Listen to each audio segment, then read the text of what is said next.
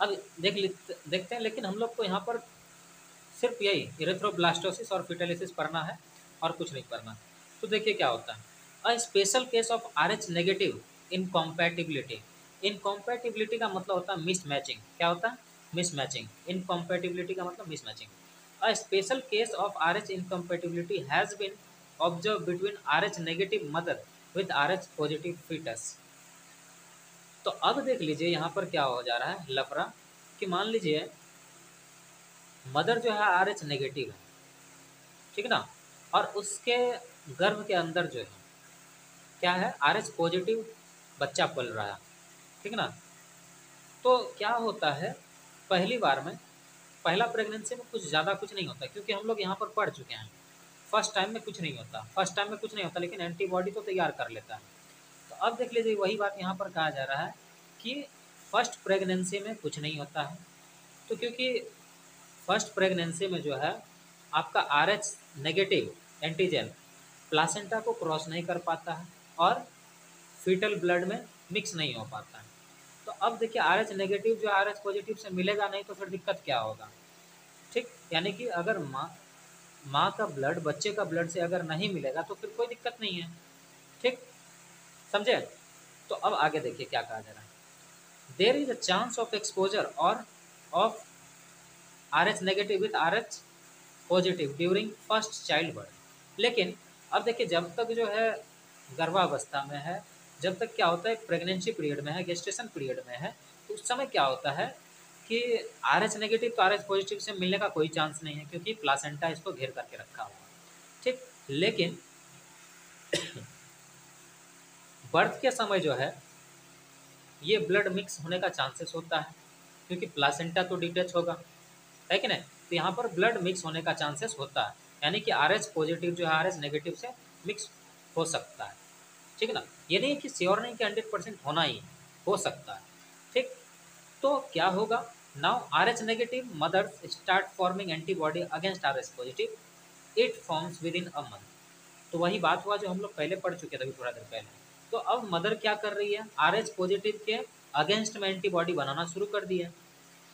और फिर अगर नेक्स्ट प्रेगनेंसी में फिर से मान लीजिए कि नेक्स्ट प्रेगनेंसी कंसीव हुआ और फिर से फीटस क्या है? आर एच पॉजिटिव इस समय तो लेकिन बच्चा के लिए पूरा खतरा से खाली नहीं है। ठीक ना? तो अब देख लीजिए क्या होता है।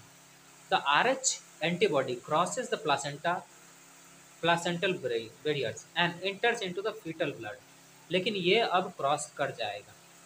ये जो है प्लासेंटा क्रॉस कर जाएगा और फिर क्या कर जाएगा?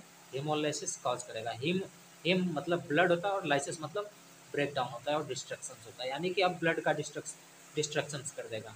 यानी एग्लूटिनेशन रिएक्शंस कर देगा बच्चे में।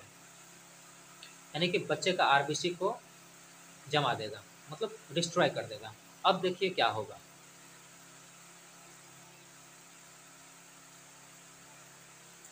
अब तो देख लीजिए, अब तो ये हो गया, बच्चा का ब्लड जमा देगा। लेकिन in severe haemolysis in foetus causes jaundice अगर मान लीजिए कि बहुत बहुत ज़्यादा हिमोलाइसिस बहुत ज़्यादा आरबीसीस का डिस्ट्रक्शन हो चुका तो इस केस में बच्चे को क्या हो सकता है? जॉन्डिस हो सकता है। ठीक? समझे? क्योंकि आरबीसी में ब्लूरिन और ब्लूवर्डिन बहुत बढ़िया मात्रा में पाया जाता है, जिसके वजह से क्या होता है? जॉन्डिस कॉज करने के लिए वो एनफ होता मोर देन सफिशियंट है। ठीक? तो लेकिन इस कंडीशंस को पॉपअप करने के लिए मीट करने के लिए कंपनसेट करने के लिए क्या होता है? To compensate the haemolysis of more and more number of R B C there is rapid production of R B C not only from bone marrow but also from the spleen and liver अब इस conditions को cope up करने के लिए compensate करने के लिए, हम लोग का फीटल बॉडी क्या करता है? फीटल बॉडी का फीटल का बॉन जो है बॉन मेरो वो आरबीसी प्रोडक्शन शुरू कर देता है। और स्प्लीन भी आरबी बॉन मेरो के साथ साथ स्प्लीन और लीवर भी क्या करता है आरबीसी बनाना शुरू कर देता है। लेकिन देखिए इस समय में क्या हो जाता है। सब काम करना शुरू कर दिया। Now many many large immature cells in pro erythroblastic stage are release into the circulations अब देख लीजिए यहाँ पर क्या हो रहा है कि क्योंकि बॉडी का डिमांड है, बहुत ज़्यादा आरबीसी का, बहुत ज़्यादा आरबीसी चाहिए, ठीक ना? क्योंकि बहुत ज़्यादा आरबीसी का डिस्ट्रक्शन हो चुका है, इसलिए आरबीसी का डिमांड बहुत ज़्यादा है बॉडी में। अब क्या हो रहा है इस समय में? इमेच्योर आर बाहर आ जा रहा है। इमेच्योर आर जिसको हम लोग क्या कहते हैं? प्रो प्रो इरेथ्रोब्लास्टिक फॉर्म यानी कि अब इरेथ्रोब्लास्टिक इरेथ्रोब्लास्ट जिससे बनता, उसका प्रिकर्सर सेल्स आ गया। तो यानी ये प्रो इरेथ्रोब्लास्टिक सेल जो है, ये प्रिकर्सर है क्या चीज़ का? आर का। ठीक ना? तो अब आर को हम लोग इरेथ्रोब्लास्ट भी कहते हैं।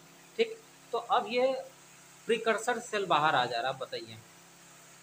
ये बाहर आ जा रहा है, जो कि बड़ा होता। है so this disease is called erythroblastosis foetalis इसीलिए हम लोग इस डिज़ीज़ को क्या कहते हैं? इरेथ्रोब्लास्टोसिस फिटेलिसिस तो अब आपको ये पता चल गया होगा कि इरेथ्रोब्लास्टोसिस फिटेलिसिस में क्या होता है। कि R H negative blood R H negative R H positive incompatibility का कारण क्या होता है कि बच्चे का बॉडी में हिमोलिसिस हो जाता है, यानी कि आरबीसी का डिस्ट्रक्शन हो जाता है। इस चीज़ को पॉपअप करने के लिए क्या होता है कि बच्चे का स्प्लिन और लीवर और बॉन मेरो सब आरबीसी बनाने लगता है और जिसके वजह से पूरा मेच्योर आरबीसी नहीं निकल करके ई मेच्योर आरबीसी निकलता है सर्कुलेशन में पहुँच जाता है। जो क्या है प्रो इरेथ्रोब्लास्ट भी निकल जाता है, ठीक है ना? जो साइज़ में बड़ा होता है, इसीलिए हम लोग इसको क्या कहते हैं erythroblastosis and fetalis erythroblastosis foetalis अब देखिए due to excessive haemolysis haemolysis severe complications can develop अब देखिए, अगर बहुत ज़्यादा हिमोलिसिस हो चुका, बहुत ज़्यादा ब्लड डिस्ट्रॉय हो चुका तो अब इस केस में क्या हो सकता है? सीवियर एनीमिया हो सकता है, जिसकी वजह से क्या होता है कि बच्चा मर भी सकता है। और हाइड्रोप्स फिटालिसिस, फिटालिस हो सकता है। यानी हाइड्रोप फिटालिस कहने का मतलब क्या होता है कि enlarge of liver spleen cardiac failure and intrauterine death अब देखिए इसमें क्या हो जाएगा कि मतलब इसका लीवर और स्प्लिन दोनों बड़ा हो जाएगा लार्ज हो जाएगा और इसका हार्ट फेल हो जाएगा, जिसकी वजह से क्या हो जाएगा? हार्ट फेल होने की वजह से क्या होगा कि इंट्रायूट्राइन डेथ हो जाएगा। अब करने की ट्रस ये सिंड्रोम देखने को मिल जाएगा। इसमें क्या होता है कि ब्रेन डैमेज हो जाएगा इन्फेंट का। जिसकी वजह से क्या होगा कि मंद बुद्धि, बच्चे पैदे होंगे। चलिए, अब इसको इससे बचा कैसे जा सकता है, ये देख लेते हैं।